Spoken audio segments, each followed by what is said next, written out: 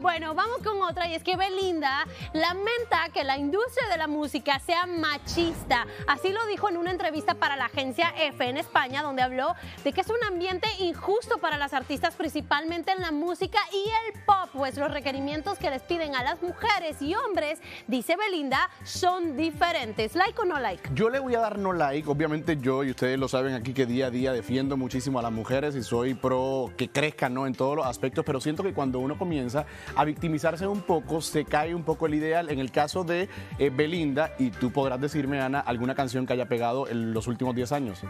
Ninguna. Realmente es que Belinda no suena en la radio, más allá del sapito. el sapito, el sapito fue hace 20. No fue hace 10 años, producción. Imagínate, eso fue hace 20 años. Entonces, a lo que voy justamente es, no puedes decir que están siendo machistas porque hay oportunidad para muchas mujeres y el género lo dice, el género lo indica, sea pop, sea lo que sea, hay muchas mujeres teniendo éxito. Entonces, no victimizarse y más bien trabajar por buena música. ¿Sabes qué? Yo sí le voy a dar like porque la verdad es que es una realidad. Vivimos en un mundo machista, estamos creciendo y ahorita las mujeres estamos viviendo un momento muy bonito de empoderamiento, de apoyarnos unas a otras. Pero la verdad es que esa es la, realidad, ¿no? La, realidad es que todavía existe un machismo. Yo le voy a dar el beneficio a Belinda porque a ella le preguntaron y ella respondió lo que ella piensa, lo que ella opina. Entonces es su opinión, así que le voy a dar like. Ahora.